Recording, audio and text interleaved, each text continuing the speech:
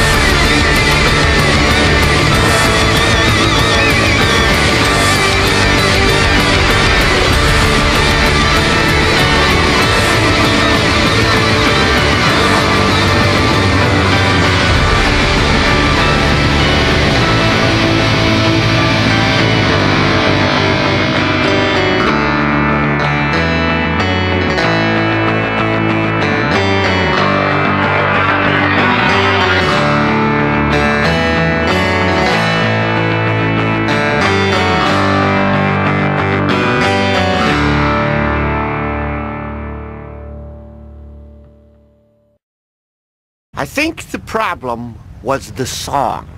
You got any other, uh, you know, uh, happier songs about partying?